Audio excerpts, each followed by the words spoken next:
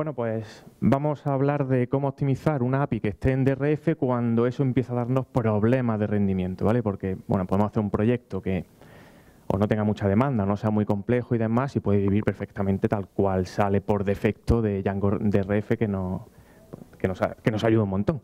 Pero claro, cuando la cosa va a mayores o la complejidad de la API crece y demás, podemos encontrarnos ciertos cuellos de botella, ¿vale?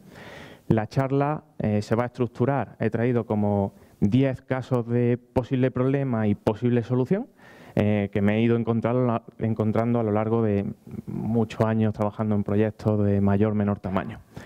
Entonces vamos a empezar por el primero. El primero sería cuando podemos tener un endpoint de un uso masivo. Un, un, solo endpoint, ¿vale? Vamos a pensar, y me voy a poner un caso concretito. Un endpoint que sea muy básico, ¿vale? Con poco cálculo, que nos devuelve unas pocas columnas de la base de datos. Imaginamos que es simplemente un endpoint que consulta cómo está el estado de un evento o el estado de eh, la caja, que lo mejor solo devuelve pues, si está en un estado y la fecha de última actualización, no sé, tres, cuatro columnas, cosa fácil, ¿vale? Una cosa que tú la desarrollas, la pruebas y te tarda 130 milisegundos, 140, algo que a nivel usuario es imperceptible, ¿vale? Entonces sería un endpoint que a priori no tiene por qué dar mucho problema, pero de buenas a primeras ves como el uso de ese endpoint va creciendo de forma muy bestial, porque todos los usuarios lo usan continuamente, y por tonto que parezca, la infraestructura se resiente. Para el usuario va rápido, a priori, hasta que la infraestructura se resiente y puede morir. ¿no? Soluciones que pueden darse ante este caso. Por una parte sería en las query set previas a ese serializador usar el only. Porque puede ser que estemos devolviendo solo dos, tres campos de un modelo, pero ese modelo tenga muchas columnas o columnas con binarios, columnas con text field que tienen muchos datos y por defecto los query sets de Django te hacen una select de todas las columnas de la tabla. Con lo cual a lo mejor nos estamos trayendo para pintar eso un montón de información de base de datos hacia Python y desde Python solo cogemos dos de esos datos y es lo que devolvemos al serializador. Oye, pues usemos el only para asegurarnos que desde la base de datos solo vienen esos dos campos, no viene el resto. Y por otra parte, a nivel del serializer, podríamos poner un read only fields igual a fields. ¿Qué conseguimos con esto? Esto es una especie de optimización que se ve rara vez, pero básicamente si el serializador es de solo lectura, porque estamos usándolo para consultar eso, cuando tú los campos no los tienes read only, por defecto Django Serializer y demás, ejecutas un método de validación. Y entonces estamos validando campos que ya de por sí vienen de la base de datos, que ya están validados, ya se guardaron validados. Pero el serializer por defecto los valida. Son unos cuantos ciclos de CPU, como aquel que dice. Pero cuando vamos a un uso masivo, esos ciclos se notan. Nosotros el quitar, el poner read only fields igual a fields, a lo mejor te baja el tiempo de cómputo de serialización, es decir, ya no te digo flujo completo del stack desde que entra la petición hasta que sale, sino lo que es la etapa de serialización, a lo mejor pasa de ser 10 a ser 2, porque te acabas de quitar un montón de validación. Vamos a suponer ahora un serializador que serializa un montón de información. Montón de información con serializadores anidados, con arrays que cada posición vuelve a serializar, es decir, al final algo que serializa pues 3, 4 megas de información porque devuelve pues, mucha información que es necesaria serializar, ¿vale? Entonces vamos a ver que, bueno, con una sola ejecución, pues mejor son un par de segundos de endpoint, ¿no? Con lo cual es, bueno, un endpoint pesado, ¿vale? Un endpoint pesado. Si estamos en, en esa situación, lo primero es tirar, bueno, de lo básico que todos conocemos, que es tirar de select related y prefetch related. ¿Vale? Para el que no lo sepa, que busque lo que es esto. Básicamente lo que intenta esto es ir mucho menos a base de datos y traerse de golpe muchas cosas. Eh, si tengo que pintar un array de 200 posiciones, cada posición tengo un modelo de serialización, por defecto, Django, Django REST Framework iría uno a uno leyendo ese modelo, pintándolo y cosas así, siempre uno a uno. Con este tipo de cosas nos traemos de golpe en batch de la base de datos mucha más información y entonces pues optimizamos los accesos a datos. Y también esto de buena primera te multiplica o te divide, mejor dicho, por 10 muchos tiempos en, un nodo. De nuevo podemos hacer los read only fields igual a fields para que eso funcione y he llegado a tener que hacer incluso caché en memoria para ciertos nodos. A lo mejor tenemos modelos serializadores que son pequeños, pero son la típica tabla auxiliar que te dice, imagínate, ¿no? Pues el ID del Estado, el nombre del Estado. Pero que eso pues está vinculado a muchos serializadores que llevan como su estado y su estado y su estado y al final el estado OK es como que se está yendo a la base de datos y serializando la misma cosa 3.000 veces cuando el, el, resultado de serialización es el que es. Para el estado ID3, el, el, string de serialización es el que es. Entonces ahí lo que te puede hacer es cacharte en memoria para esos serializadores que se usan mucho, decir, bueno, he serializado el ID3, pues el resultado me lo guardo aquí en memoria y si me piden reserializar otra vez el modelo ID3 de esta misma cosa, lo devuelvo directamente y no serializo nada. Pues eso de buena primera también empieza a ganar. Vamos a suponer que tenemos un serializador que tiene eh, muchos usos. Muchos usos me refiero que es un mismo serializador, se usa desde diferentes endpoints para diferentes cosas. Por ejemplo, quiero saber el current user, quiero saber si este usuario está activo, quiero saber diferentes cosas que, usamos al final, pues endpoints parecidos, pero que al final el serializador es el serializador user. En ese caso, fijaos que tenemos endpoints que al final em, me está renderizando un montón de información de un usuario y a lo mejor yo en este caso concreto solo necesitaba el nombre y el mail para pintarlo en la cabecera. Pero como es ese, eh, los endpoints devuelven ese serializador, pues me lo serializas todo. Pues bueno, posibles soluciones, si eso nos está dando ya problemas de rendimiento. Pues primero, desdoblarlo en varios serializadores. Oye, pues si este endpoint, tengo un endpoint para pedir el nombre y el mail, pues te creas un endpoint para eso, con un serializador para eso, que devuelva dos datos y no te genera un serializador de 500K cuando el uso que se hace de la API es ese. ¿no? Eh, también se puede usar serializadores dinámicos. existe este concepto en el que quien usa la API puede decir, vale, yo sé que eso puede devolver toda esta información, pero quiero ejecutar ese endpoint, pero te voy a pasar por parámetro que solo quiero estos dos campos, para que internamente no serialices todo, no vayas a datos a por todo, ve solo a por eso. Y existen, bueno, hay librerías que te hacen eh, los Dynamic Serializer para conseguir que desde front o desde la consumidor API puedas especificar qué necesitas y no serializarlo todo. Tenemos serializadores de lectura a escritura. Aquí lo que, lo que puede ocurrir es que cada vez que vamos a crear algo, por defecto Django REST Framework lo que hace es lo creas el resultado lo serializa y lo devuelve. Ese es el flujo habitual. Imaginamos que ese serializado que devuelve pues, es un serializado también pesado, que a lo mejor tarda un segundo en serializar porque lleva mucha información. Y es, yo cuando creo, yo con que me des el ID me vale para yo con ese ID ya hacer algo, ¿no? Pues ahí una opción puede ser tener un serializador de escritura y un serializador de lectura. De forma que el de escritura, por defecto, te devuelve solo el ID, que con eso ya tienes, y después ya si quiero yo toda la información, ya ejecutaré el de lectura, ¿no? Sería esa solución. De forma que en escritura tenemos los write-only devolviendo el ID y en lectura pues la solución que habíamos visto en el punto 2. O de nuevo usar los Dynamic Serializer para poder escribir y después decir, y dame solo el ID, de vuelta, no me lo des todo.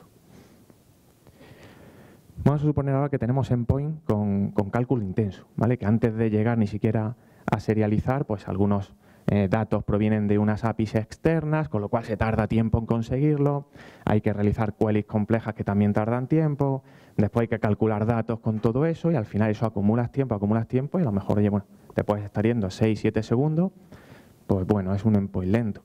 Pero ¿y si te vas a 40, 50 o 60 segundos? Porque hay que hacer llamadas externas, con esa llamada hacer algo.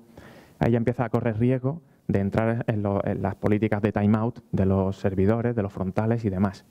Con lo cual, ante este tipo de situaciones, y también para no tener a un usuario esperando ahí a ver si se ejecuta o no, lo que habría que hacer es, por una parte, pues lo que se pueda cachear en memoria o en un Redis o algo así, pues hágase, ¿no? Lo que se pueda, lo que tenga sentido. Pero si no, habría que estructurar ese proceso con tareas de segundo plano y a lo mejor de doblar un endpoint en dos para decir, bueno, un endpoint para que me des la solicitud de genérame esta información y otro endpoint para, oye, ¿cómo va eso? de forma que al usuario se le pueda decir, bueno, pues esto está trabajando, se hace la comprobación y ya no caes en el problema de que te pueda tener un timeout, ese endpoint o cualquier dato de estos. Tenemos endpoints masivos, eh, pero de uso común o, de, o, que el resultado no depende de la sesión, por decirlo de, alguna forma. Es como que todos los usuarios o todos los clientes que usan el endpoint, eh, independientemente de que sea, lo que devuelve es lo mismo. ¿vale? Puede ser, por ejemplo, si es simplemente, oye, ¿cómo está el estado de carga de tal cosa? Y bueno, sea quien sea, el estado es el que es, no hay más. Pero bueno, si, es un, endpoint de uso masivo, pues resulta que hay muchos usuarios o, muchos clientes API consumiendo un endpoint que devuelve sistemáticamente lo mismo hasta que el estado del servidor cambie. Con lo cual, ante, ante ese tipo de endpoint, cuando vemos que no depende de sesión, no depende de su usuario y se está usando de forma masiva, lo ideal es usar la caché del, propio servidor, o sea, ya ni que no entre ni siquiera al WSGI o que no entre ni siquiera a, toda la pila de Django, que se quede directamente en el Apache, en el Nginx o en el frontal que tengamos. Para eso, por lo suyo sería usar el, el method decorator, que es el caché page, dentro de Django, en el que podemos decir, oye, lo que devuelva aquí, cachámelo un minuto, no sé, algo así, o 30 segundos, como si son 10 segundos. Al final, si cacheas 10 segundos y te lo están machacando, pues cada 10 segundos haces un solo cálculo. El resto se lo comerá el frontal, que es el que está atendiendo a todos los a todos las llamadas API. O bueno, otra opción sería en una caché Redis, pero ahí ya sí estaríamos entrando dentro de la pila Django, ¿vale? O sea, el primer, el primer caso sería el mejor. Si tenemos queries a columnas sin índices, pues bueno, aquí eh, ya sabemos la solución. Hay que crear índices, ¿vale? Porque esto es muy típico. Por defecto Django no te crea índices, te crea los índices de las primarias, poco más. Y claro, como todo te lo hace tan fácil, pues tú vas tirando modelos, creas los serializadores, metes las vistas, aquello funciona, para adelante. Cuando empieza a usarse aquello, le has puesto filter fields, le has puesto cosas, el usuario empieza a usarlo y oye, pues aquello no, no va mal, pero que está tardando 800 milis para un endpoint que tampoco es gran cosa. Y bueno, lo que pasa es que es verdad que nos podemos acomodar a que parece que Django te lo hace todo, pero bueno, lo, hace todo medianamente bien, pero después hay que afinar. Con lo cual, pues está bien repasarse bien los filter fields que tenemos, por dónde se están atacando, por dónde se están haciendo queries, para poder un poco optimizar la creación de esos índices y crear índices, porque de buena primera los tiempos se, dividen por 100, o sea, y esto suele pasar a veces cuando hay problemas de rendimiento es qué queries están haciendo y cuáles, cuáles son los índices, ¿no? Cuando tenemos queries muy complejas, aquí va a depender un poco de la, base de datos, del motor de base de datos que tengamos detrás, ¿no? Pero cuando hablamos de tener un gran número de tablas, es decir, la típica query que empezamos a poner el nombre de un modelo, guion bajo, guion bajo, otro modelo, guion bajo, guion bajo, otro, guion bajo, porque oye, hay que comprobar cosas a diferentes niveles acabas de unir con, los, con los exclude, los filter y no sé qué, pues en total llevas ahí 10 tablas dentro de lo que sean en inner joins y da la casualidad que tres o cuatro de esas tablas son mastodontes de tablas pues resulta que le estás lanzando una query al motor de base de datos pues que le puede hacer daño. En mi caso concreto he visto muchas ocasiones como un MySQL o, un Postgre se quedan muertos. O sea, muertos porque empieza a saturar un poquito la memoria. Es verdad que van tirando, pero ves como aquello tarda un montón en, resolver la, query, ¿no? Y a veces em, la solución que, ha solido funcionar es dividir la query en etapas, simplificarle un poco el trabajo a, para no lanzarle una consulta tan gorda, a lo mejor a un motor de base de datos que no está tirando de eso, y a lo mejor lo dividimos en varias etapas, de cada etapa sacamos los IDs que nos sirven para filtrar en la siguiente, y es como, así a priori, eh, bueno, tengamos en cuenta siempre que la optimización y la mantenibilidad nunca van de la mano. O sea, cuando optimizamos perdemos algo, en este caso, pues mantenibilidad. Claro, aquí es como que queda mucho más pro pues tener una query bonita, aunque sea grande, y es una sola query. En este caso lo de dobla en tres etapas es menos bonito, pero a lo mejor algo que se te moría porque te da incluso timeout o la RAM se te iba, de una primera, pues bueno, oye, pues la cosa anda y en un segundo, segundo y medio, pues ha resuelto y, y funciona, ¿no?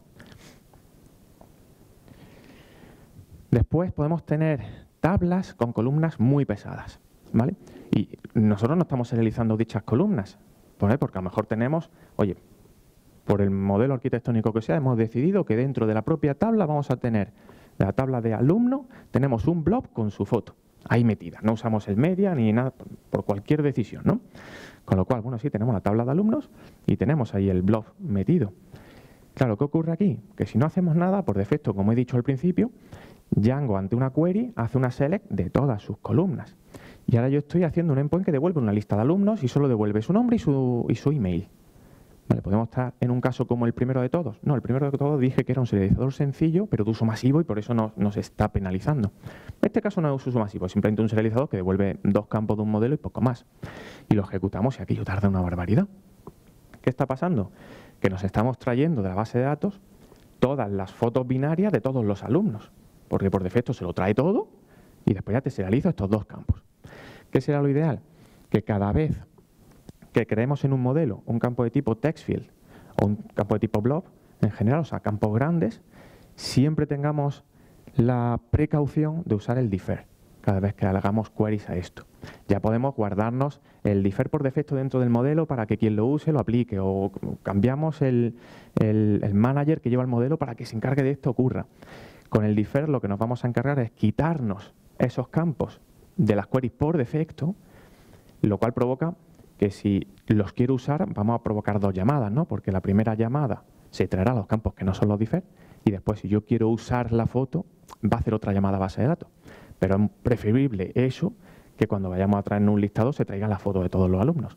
Entonces con el differ solo se trae, esto sería como lo he puesto al only, ¿no? Son dos, son dos cosas que hacen lo mismo pero al revés. El only dice cuáles te traes y el differ dice cuáles no. Entonces o usas una o usas la otra.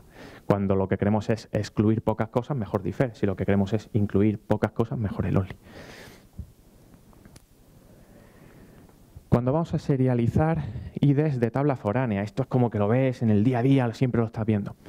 Alguien pues quiere pintar el ID de la tabla foránea a la que está vinculado y siempre pones pues, el, campo que sea, guion bajo, guion bajo, ID, para referirme a la columna ID del, del modelo foráneo.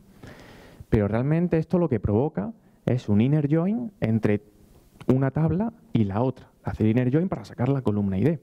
Pero pensemos que la columna ID ya la tengo en el modelo original, porque tengo la referencia, tengo, tengo ese puntero, por decirlo así. Y al final es usar fiel ID con un solo guion bajo, que ese es el nombre de la variable que tiene la clave foránea, en lugar del fiel guion bajo guion bajo ID, que es lo que va a hacer un inner join para traerme el ID de la otra tabla, que es el mismo que ese. ¿vale? Y bueno, estos son los 10 tips que he traído y que os podéis encontrar en algunos casos. Y si alguno se ha encontrado alguna otra situación o tiene alguna duda sobre algo de lo que hemos visto, le puedo ayudar, aquí me tenéis.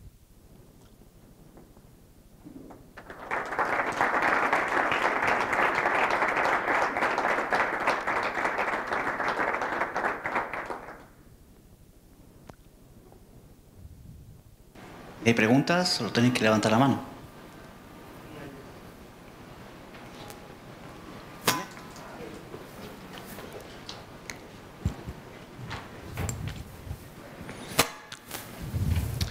¿Qué tal, José Carlos? Ah, Muy buenas. Muchas gracias. me ha llamado la atención porque creo que no lo he entendido bien eh, en uno que habla de una query, descomponerla como en dos pasos distintos. No, sé si, te, si, te, he seguido la lógica, porque bueno, mi, mi intuición sería si tiene una computación difícil de hacer, porque se computación difícil de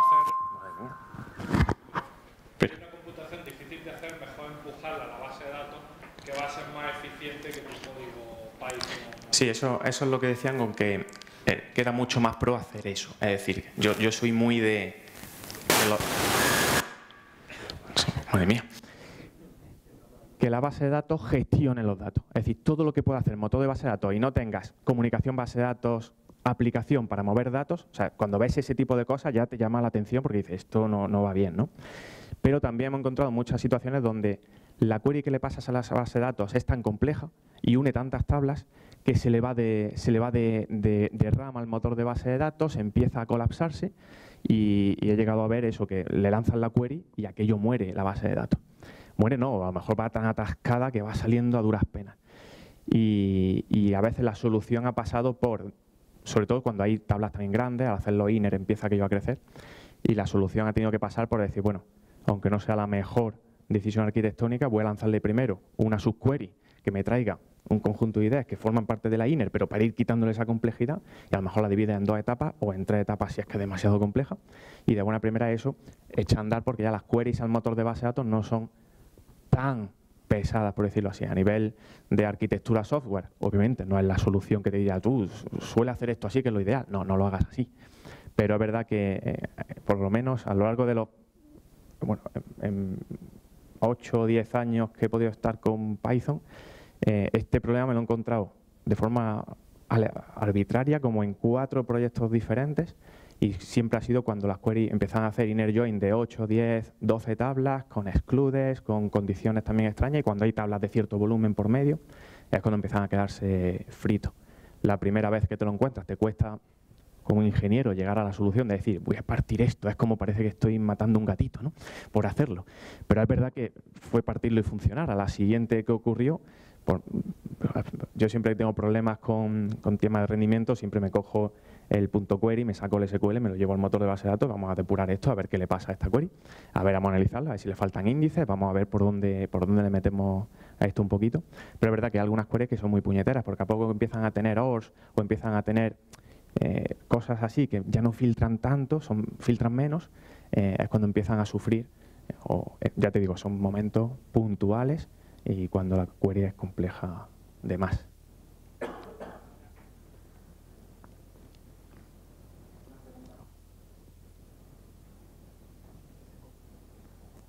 Sí, es que cuando se enciende ese, este va a apagar.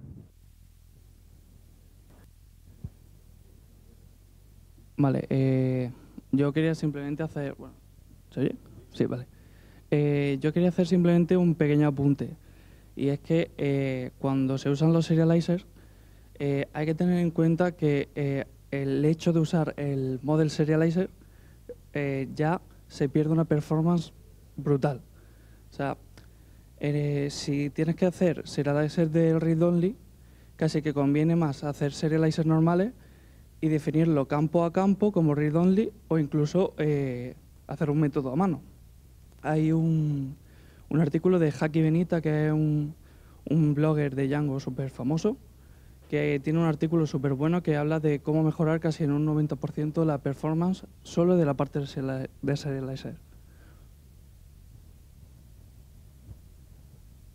Correcto, sí, sí. El model serializer es lo que decía al principio, el Django te lo da todo, todo va muy fácil y a priori todo funciona hasta que te vas a entornos productivos y la cosa empieza a escalar un poco y hay puntos de dolor y tienes que solucionarlo. Y ahí es donde dices, bueno, no me vale solo el estándar, ya tienes que empezar según el caso a afinar para un sitio para otro y ya una mala incluso devuelvo un, JSON y ni lo uso ningún serializador. Pero bueno, esa, la mantenibilidad es como es, todo no va para un lado o para el otro.